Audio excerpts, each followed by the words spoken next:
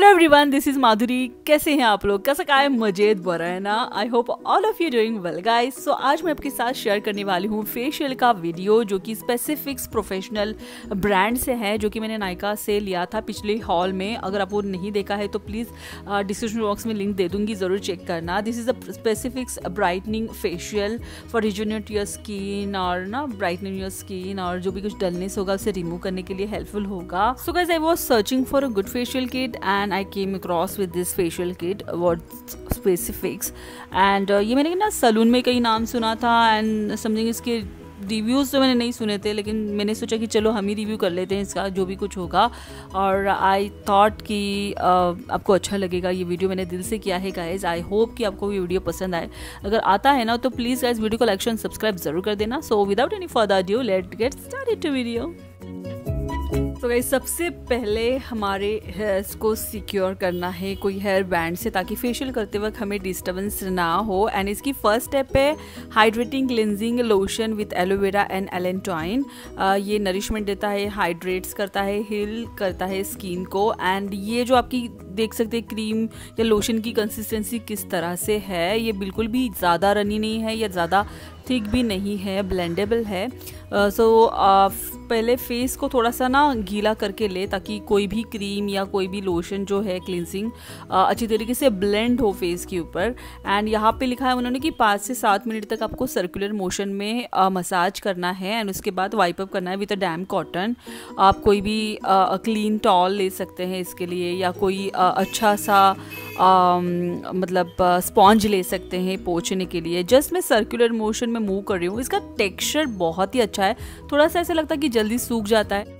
But you can adjust with the water and sponge में बोलूँगी ना आपको बहुत ही ज़्यादा हार्श वाला आपकी स्किन को इरीटेट करने वाला बिल्कुल भी मत यूज़ कीजिए। मैं तो ये नहीं यूज़ करने वाली हूँ बिकॉज़ मुझे बहुत ही गंदी सी फीलिंग हो रही थी इसमें। हार्शनेस हो रहा था। मुड़ते हैं सेकेंड स्टेप की तरफ़ which is brightening scrub uh, with papaya aloe vera remove dead cells the skin. Uh, ये भी आप देख सकते हैं ना इसका टेक्सचर बहुत ही थिक है। ऑरेंज कलर के जो ग्रैनुअल्स हैं ना uh, वो बिल्कुल भी मतलब हार्श नहीं है गाइज़ uh, ये बहुत ही सॉफ्ट लगा मुझे।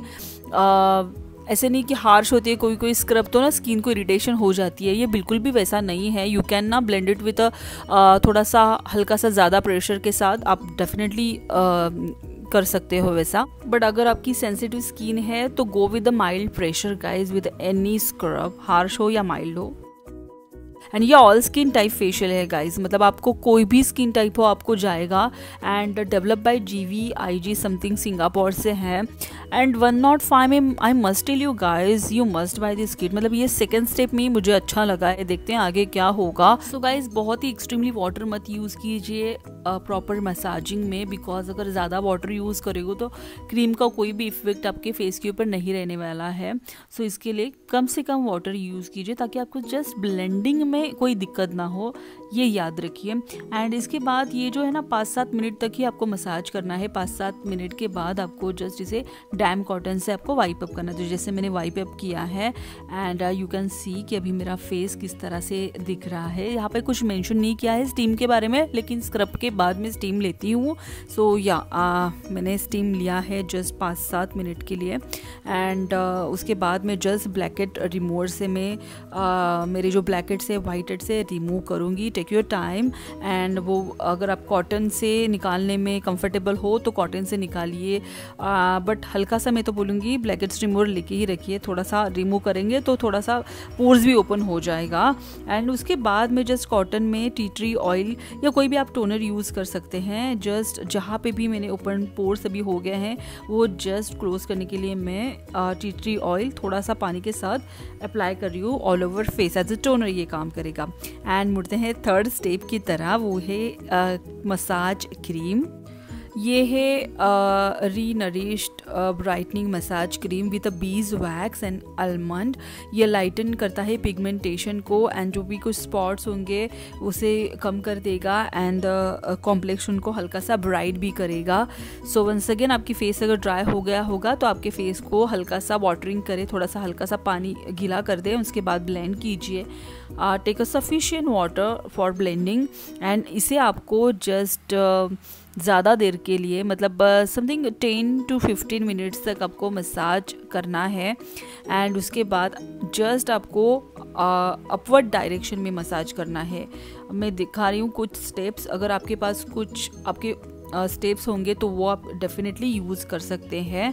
और स्टेप बाय स्टेप मैंने फेशियल शेरिल्स में भी दिखाया। Cheryl's is my most favourite brand for facial लेकिन मैंने कुछ अलग ट्राई करने का सोचा तो इसके लिए मैंने ये स्पेसिफिक का लिया था, क्योंकि रिजनेबल एक फेशियल भी का वीडियो मुझे करना था तो ये मैंने किया है गाइस एंड इसका स्मेल भी बहुत ही ज़्यादा अच्छा है। क्रीम का भी टेक्सचर बहुत ही ज़्यादा थिक है बहुत ही ऐसे ना नरिशमेंट देता है। जस्ट मसाज करते वक्त ही आपको समझ में आएगा। आ, ये जो ना ट्यूब पैकेजिंग है इसका कितने ग्राम में है पता नहीं चल रहा है लेकिन ये ना सेकेंड टाइप के लिए तो आराम से जाएगा ऐसे मुझे लगता है। बिकॉज़ मेरा भी मसाज करने के बाद भी ये प्रोडक्ट जो है ना रह गया है नेक्स्ट टाइम के लिए। सो so, ऐसे नहीं कि मैंने जानबूझ के रखा है लेकिन रह गया है। So take your time and massage very very well relax yourself अगर कोई म्यूज़िक लगाना है या कुछ आ, कुछ भी आपको ऐसा मन पसंदीदा रिलैक्स फीलिंग के लिए तो आप डेफिनेटली वो कीजिए एंड रिलैक्सली मसाज कीजिए तब तो भी उसका इफ़ेक्ट अच्छे तरीके से आएगा। उसके बाद मसाज अगर होता है ना उसके बाद आपको जस्ट इस तरह से मोशन करना है आपके फेस के ऊपर क्योंकि ना जो ब्लड सर्कुलेशन फ्लो में आया है उसे शांत करना भी बहुत ही ज़रूरी होता है। सो so, इसके लिए इस तरह से मैं कर रही हूँ। You can follow this same same step as well so yeah मुड़ते हैं नेक्स्ट स्टेप की तरह जो कि है फोर्थ स्टेप मास्क लगाना है हमें।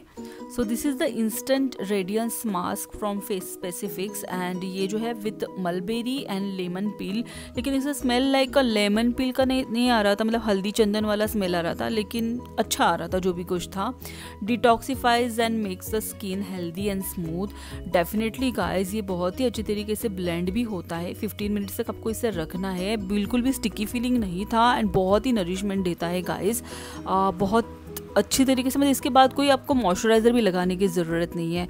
You can see after fifteen minutes I wash my face and आप देख सकते हैं कितना अच्छा इफ़ेक्ट आया है guys you can see my before and after आप थोड़ा सा वीडियो पीछे जाके देख सकते हैं। बहुत ही अच्छा ग्लो आया है मेरे फेस के ऊपर and second day also guys I feel the same difference बहुत ही अच्छे तरीके से क्लीन डीपली क्लीन हो गया था। एंड मैं ब्राइटनिंग को प्रमोट बिल्कुल भी नहीं कर रही हूँ, लेकिन मेरे फेस के ऊपर जो भी कुछ डलनेस था ना गाइज़ इसने बहुत ही अच्छे तरीके से रिमूव किया है। I must tell you one not five me it's a very good deal अगर आपको मिलता है ना ये नायका के ऊपर मैंने लिया था नायका से तो आप डेफिनेटली इसे बाय कीजिए। I highly recommend this product for you so guys that's it for the video uh, i hope this video this review demo helpful for you guys अगर होता है तो प्लीज़ वीडियो को शेयर कीजिए like कीजिए and subscribe भी ज़रूर कीजिए मिलते हैं नेक्स्ट वीडियो में till take care bye bye